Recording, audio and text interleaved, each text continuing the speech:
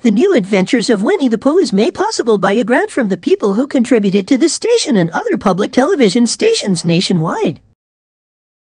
With additional funding for this program by the Corporation for Public Broadcasting and the Arthur Vining Davis Foundations.